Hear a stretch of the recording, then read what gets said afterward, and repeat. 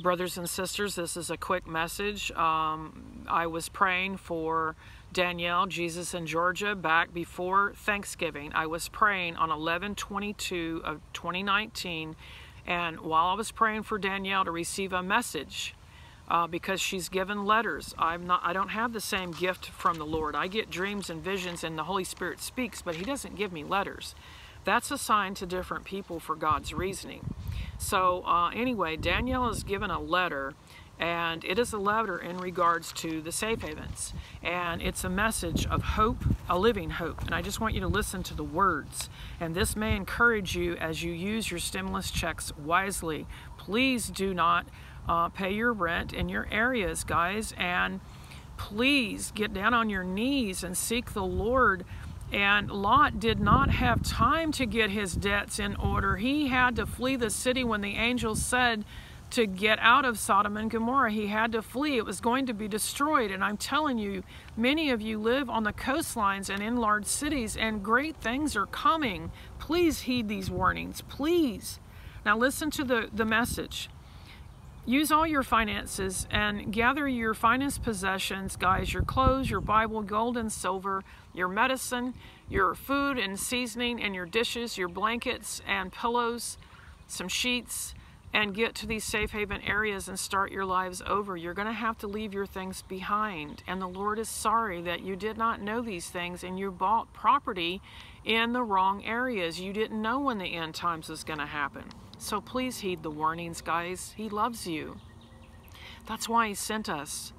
That's why He sent us. Please believe that. Anyway, this is from the Lord. Tell my people I am giving back everything the enemy has stolen from them. Complete restoration, sevenfold.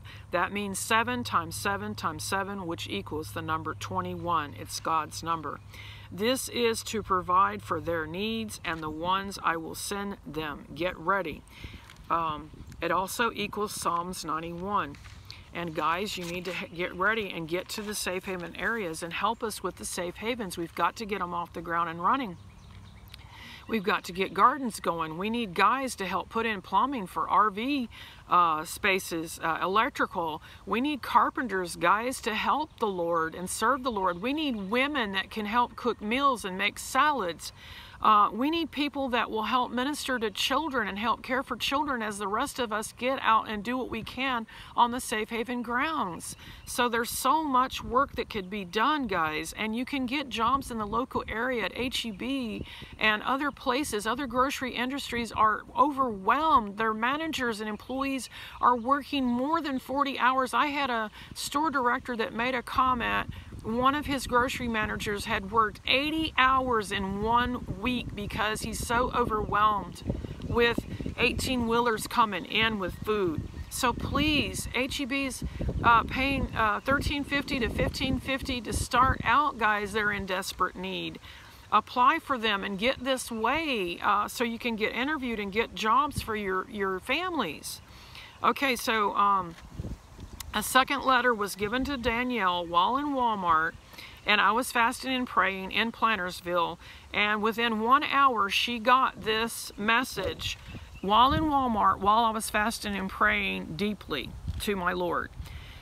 And this is what the Lord said There will be shelter. Did I not say I would hide you under my wings? That's Psalms 91. I will be your shelter. I will be your provider. I will feed you when you are hungry. Get ready to be fed and feed the ones in need, servants of the Most High. These letters all equal, guys. This These two letters equal Psalms 91 to a T. Uh, they equal what the Lord God wants us to be in these safe havens. And I want to read to you some more scripture uh, about the safe havens that the Lord laid on my heart. It's in Acts 4. And then I've got to go to work. It's in Acts 4, verses 31 through 32. Listen. And when they had prayed, the place where they had gathered together was shaken.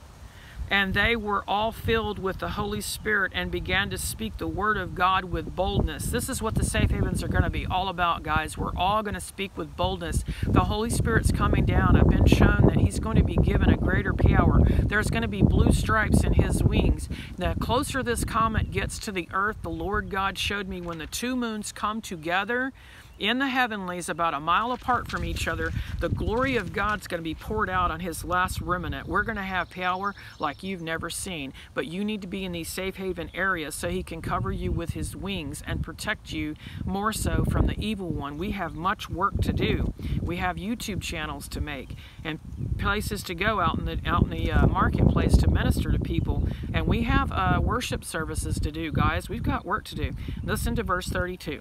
And the congregation of those who believed, those who believed in these safe havens, those who believe in the rapture, those who believe in what God's doing in the end times, those who are moved, got up and moved. Okay? Those who believed were the one, were of one heart and soul. That means you, we're all connected. We all have a unity. And not one of them claimed that anything belonged to him was his own, but all things were common property to them. This is what the Lord God has showed me. That's what the safe havens are going to be. It's going to be common property for each and every one of us to rejoice. Uh, it's going to be our homes until the rapture. Uh, it's going to be a place where we care for children, we care for the, the elderly that can't care for themselves. Everyone will be healed. We will be given glorified bodies. We will be casting out demons. We will be healing the sick and the blind and raising the dead off the streets and the marketplaces as these viruses continue, guys. And when I spoke that to Vivian, guess what the Holy Spirit did? He lit up her whole body with fire, a living fire upon it instantly as I said those words to her. I told her she's coming back. The Lord showed her she was going to be here in March. He didn't tell her how long, but He showed her she would be back in June. June is the month around the full moon time, June the 5th, is not going to be a good time to be out and about and traveling. You need to be to these locations of safety before June the 5th. And I'm not giving a date of an event happening. I'm giving you a date that you need to be settled in and you need to be ready. Now, if you're living in areas that are um, not in the danger zone of tsunamis, not in the danger zone of great earthquakes or um, volcanoes, then you're okay. I'm only talking about people in large cities, people that are not in wilderness areas, people that are in volcano and great earthquake areas and great tsunami areas. Those people I'm talking to. So please listen. And please use these stimulus checks to get to safety and start your lives over near the safe havens. God has planned these places just for you to protect you, love you, care for you, cover you with His wings and His love. And there will be a great unity like no other unity. There will be a great time of worshiping together, getting down on our knees together and praying, watching the miracles of God be poured out, and healing brothers and sisters that are sick. If you're sick and you want to get healed, you need to get up and get moving. If um, you've been poor all your life and you've been wanting to do a ministry for the Lord, you need to get up and get moving. If you've been wanting to see the glory of God all your life before the rapture, you need to get up and get moving to these areas and get relocated. Um, you need to pray for those that are lost in your family. You need to pray that the Lord God would pour out His Spirit on the day of Pentecost. He showed me and Danielle when we were in prayer seven weeks ago that He was going to pour out His Spirit because I cried unto the Lord on that phone call. I literally grieved and shed tears for all of you. You can ask Danielle, she'll tell you. I literally grieved and I said, Lord, these tsunamis are going to wipe people out. I said, Lord, these volcanoes are going to wipe people out. I said, When are you going to pour out your Spirit? And He said, Soon. So we have to trust that he did not leave me to Jonathan Cahn's sermon just the other night. And Jonathan Cahn happened to remind the world that the day of Pentecost, the day that Peter preached, over three to four thousand people were saved, and the Holy Spirit poured out His Spirit upon the flesh of those people, and they moved and received salvation. You have to understand, He's got to do this worldwide now. This comet is in the heavenlies, guys. It can now be seen at 4:30 a.m. in the eastern sky as long as you have an eastern sky. The Lord changed my schedule this this weekend, this past weekend on uh, Friday and Saturday to show me as I was driving to work that the comet, when it, moves in its orbit from the western sky at night, you can see it from 8:30 to 10, and then it moves in orbit, and then it's over in the eastern sky in the morning. And he has shown me that this comet is coming for judgment upon America. He branded the uh, map of America black into the face of the comet. He means business. Please pray and please let the Lord God's stimulus checks in your hands stimulate you to get up and get going. You must leave a lot of your possessions behind. Take your clothing that you can survive on. Take your Bibles, your gold, your silver, uh, jewelry that can be pawned as pawn shops open. Um, take things and put a U-Haul trailer on the back, load up gas cans, get ready to head out, get ready for the president to release America to go back to work. Please relocate. Please get jobs in this area. Please just look and see. Um, you know, the job market in this area, if you could just come and see the need. People are lined up at HEB to get in, guys. They're lined up at these grocery stores to get in. They can only let 200 in at a time. And as people cash out, they let a few more in. They're in need. Managers are working 80 hours a week, some of them. And uh, I worked a double shift on Saturday. I was in need of paying my rent. Please heed the warnings, guys. Please use your stimulus check wisely. And if you doubt filing bankruptcy with the Lord, think about what Lot had to do. And the angels told him very quickly get up and get your family and get out and do not look back. But his wife disobeyed and she was turned to a pillar of salt because she looked back and the atomic explosion pierced her body and she became like a pillar of salt, ash. She didn't survive it because she disobeyed. Please don't disobey the Lord. Please don't test the Lord and stay in the areas that He has used Mary, God's handmaiden. He's used King of Glory Ministries to talk about earthquakes and volcanoes and tsunamis coming over mountains. He's used Perry Stone.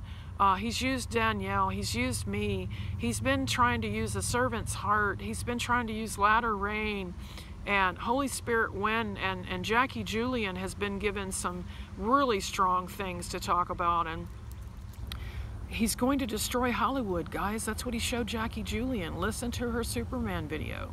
I love you. I've got to go to work and I just praise the Lord for all those of you that use your money wisely and you make the decision to get up and move. I hope these videos get to you in time before you spend it foolishly. After all the videos we've all been making, I hope you don't do that. Don't test the Lord thy God.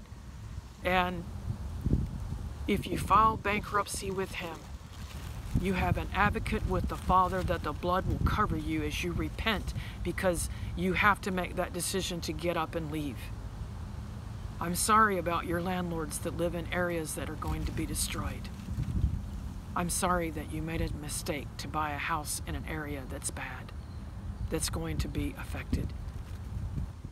I assure you, what I saw was black all the way up to the Colorado Mountains and way past the backside of Yellowstone and way to the left and way to the right, the land was burnt because the lava is going to flow like a river. And you have to understand this is the strongest volcano on the face of the earth. Believe it and get up and move, guys. Get up and move. Don't let the lava come your way. There was a 10 year old boy that lives in the middle of um, California near China Lake, 500 miles from China Lake. He saw lava flowing so deeply it was at the top of his swing set and his swing set was melting. Please heed the warning, guys. Please. There's not much more warnings we're going to be allowed to give you before it's just too late. Please heed the warnings.